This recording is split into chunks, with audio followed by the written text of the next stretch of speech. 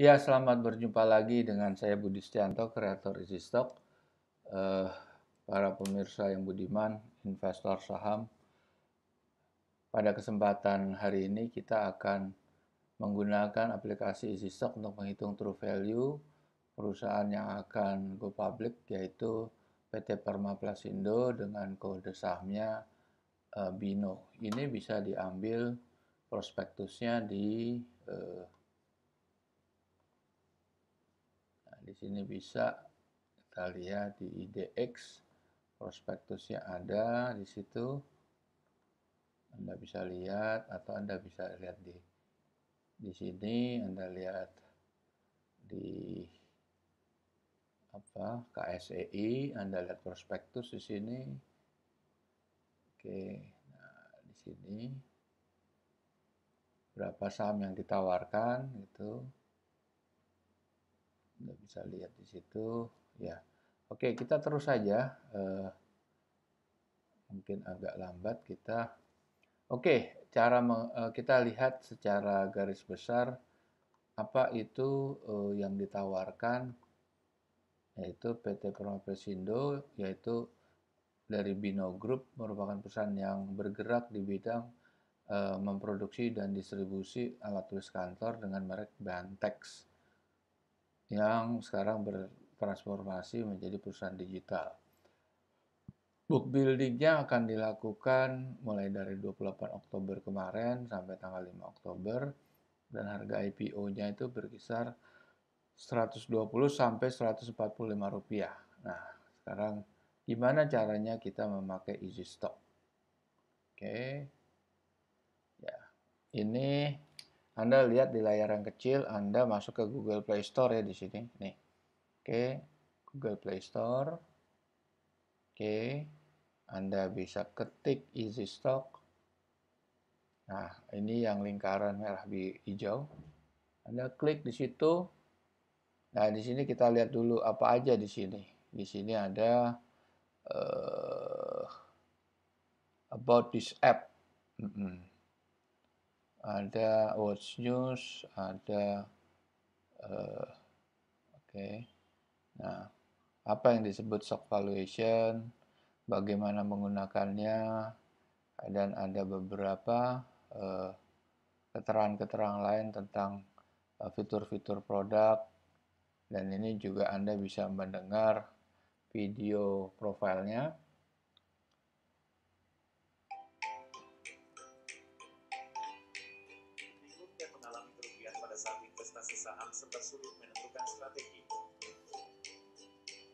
Fakta yang beredar membuktikan bahwa investor sering terjebak dalam isu yang dibuat oleh para bandar.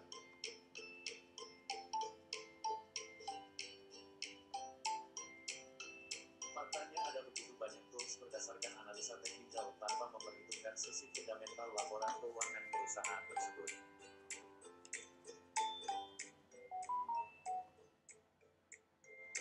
Lalu apa solusinya?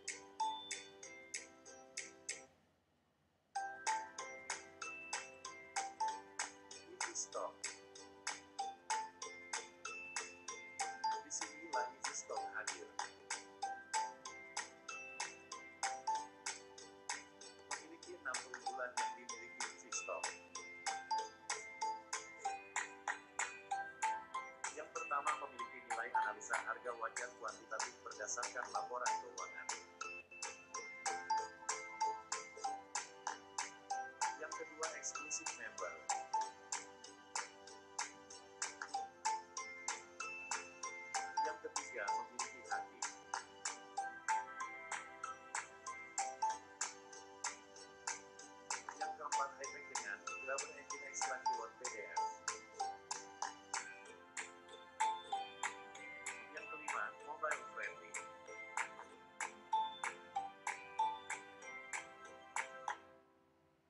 Nah, 6. Penunjang sistem strategi pengambilan keputusan.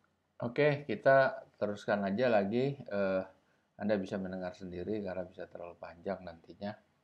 Sekarang kita melihat uh, dari mana sih uh, rumus yang kita pakai. Rumus yang kita pakai adalah berasal dari rumusnya gurunya Warren Buffett dari buku Investment Classic Security Analysis dan memang Warren Buffett itu secara uh, terbuka menyatakan bahwa cara dia menganalisa membeli saham atau menghold atau menjual saham itu berdasarkan uh, filosofi Benjamin Graham 80% porsinya dan 15% itu dari Philip Fisher. Philip Fisher adalah mengenai uh, intangible atau mengenai uh, analisa kualitatif yang para atau kami di sini saya tidak akan uh, masuk ke area situ karena area situ tidak bisa kita uh, wujudkan dalam bentuk angka sedangkan kita ingin menghitung dalam bentuk angka. Oke, sekarang kita uh, lanjut kepada rumusnya ini seperti ini adalah uh, semua berasal dari laporan keuangan yang dirilis oleh uh, Bursa Efek Indonesia, bisa juga dari official company website. Dari situ kita yang memilih ada laporan long list bukan short list karena kita uh, akan memperoleh profit and loss, cash flow, balance sheet dan auditor's note. Auditor's note itu penting karena tidak ada di short list report. Nah, dari profit and loss atau sisi earning cash flow-nya itu kita memperoleh free cash flow yang itu akan kita uh, proyeksikan dengan average industry growth. Kemudian dari sisi balance sheet itu ada net working capital dan surplus deficit balance sheet. Nah ini uh, kedua komponen itu kita sinergikan dengan government bond yield.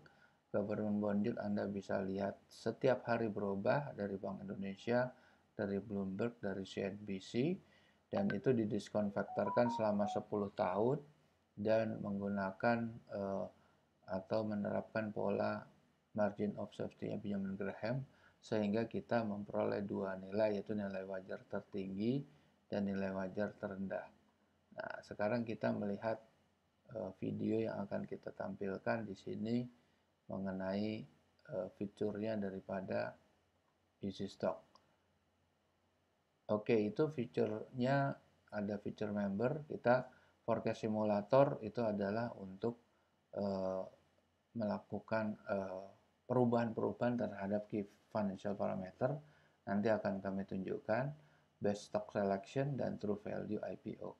Oke, itu uh, membershipnya 75.000 per bulan. Kita lihat videonya. Anda buka yang bendera Indonesia, Anda pilih apa aja company misal UNTR oke okay. Anda lihat di situ uh, lebih uh, true value-nya lebih tinggi dari harganya jadi artinya masih murah ya di situ artinya masih murah uh, harganya uh, itu 22.000 tapi ininya nah ini fitur-fitur yang bisa Anda lihat seperti company profile video profile lantas uh, dari historical chartnya juga Anda lihat per tiga bulan, enam bulan dan lain sebagainya. Dan habis ini kita masuk kepada uh, feature membership yaitu uh, forecast simulator. Nah ini Anda setu, nggak setuju kok terlalu tinggi 55.000 dan 62.000 sedangkan harga 22.000. Anda bisa bisa merubah itu. Growth-nya katakan Anda tidak setuju 3,4 3 persen, Anda bisa uh, menggunakan Nah, ini eh, forecast simulator. Anda menurunkan growth-nya 2%, Anda meningkatkan uh, belanja modal capital expenditure itu uh, eh, 5,3 triliun dari 3,3 triliun dan Anda uh, ekspansi itu Anda menganalisa bahwa ada penambahan dari hutang jangka pendeknya yaitu uh, dari 2,29 triliun menjadi 59 triliun. Sekarang kita lihat hasilnya seperti apa. Dah, itu kan 55.000 sama 62.000. Harganya 22.400. Kita klik. Nah, ketemu harganya 26.000, terendah dan tertinggi 33.000. Jadi meskipun itu diturunkan, itu tetap akan uh, menghasilkan uh, un, uh, nilai yang under value. Nah, ini best stock selection itu ada berapa parameter, over value, kita pilih under value. Under value-nya itu harga yang termurah ya menurut uh, uh, apa antara perbedaan harga dengan true value-nya. Kita pengen revenue growth yang positif, kita pilih return equity yang positif, kita pilih lagi profit marginnya positif, gross profit marginnya juga yang positif, ada price earning kita Anda terserah Anda bisa pakai. Kita mau lihat volume. Volumenya adalah satu juta ya. Lembar. Kita industri kita mau pilih mining aja. Subsektornya kita pilih coal mining. Terus kita subsektornya kita pilih uh, coal coal concession. Oke. Okay. ya, kita klik. Nah kita ketemu perusahaan Adaro, PTBA, Doit, ITMG, dan Zinc. Itu yang semuanya under value. Oke, berikutnya kita lihat bagaimana cara menghitung PT Bino yang nah, ini berdasarkan laporan keuangan 31 Maret. Kalau Anda melihat prospektusnya, laporan terakhir yang dirilis ada 31 Maret 2021. Kita lihat bagaimana cara ngitungnya. Anda lihat harga tadi 120 dan 150.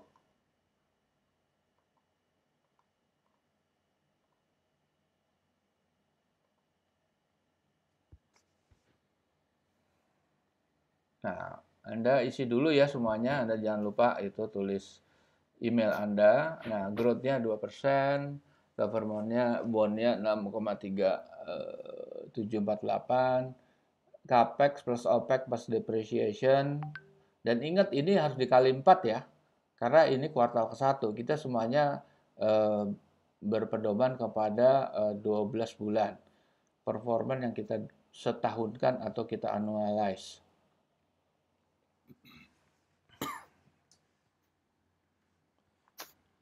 Nah, oke, okay, kita isi utang jangka panjangnya juga, utang jangka pendeknya juga.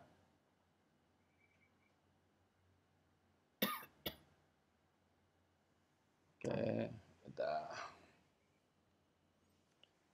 kemudian saham beredarnya berapa?